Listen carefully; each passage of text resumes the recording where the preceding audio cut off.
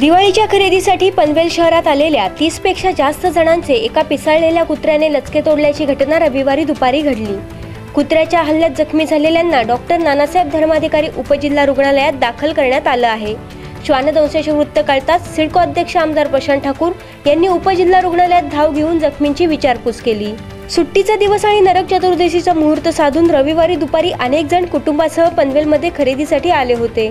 आद्य क्रांतीवीर वासुदेव बळवंत फडके नाट्यगृहाजवळ आपली वाहने उभी करून आजूबाजूच्या दुकानात खरेदी केल्यावर लोक निघण्याच्या तयारीत असताना अचानक पिसाळलेल्या कुत्र्याने लहान मुले महिला वृद्ध वधूच्या स्वरांच्या पायाचे तर कोणाच्या हाताचे लचके तोडले.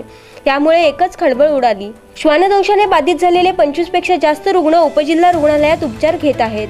श्वानदंशाचे वृत्त कळताच सिडको अध्यक्ष आमदार प्रशांत ठाकूर यांनी उपजिल्हा रुग्णालयात धाव घेऊन जखमींची विचारपूस केली. आमदार प्रशांत ठाकूर यांनी डॉक्टरांकडे औषधांचा पुरेसा साठा आहे का याची माहिती घेऊन आवश्यक त्या सूचना दिल्या आहेत. पनवेल आणि नवी मुंबईच्या ताज्या घडामोडींसाठी मल्हार टीव्ही न्यूज सबस्क्राईब करा आणि बेल आयकॉन दाबून रहा अपडेट.